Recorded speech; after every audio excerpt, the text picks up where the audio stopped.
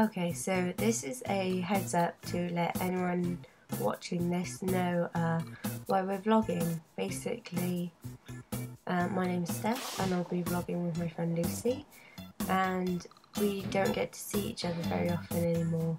So we figured that vlogging would be a good way to keep in touch when we're not able to see each other or talk to each other.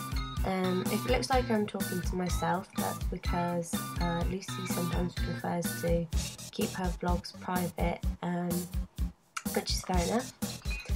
We vlogged under a different name before, but our vlogs for those are no longer up anymore because we're that much older and better, really.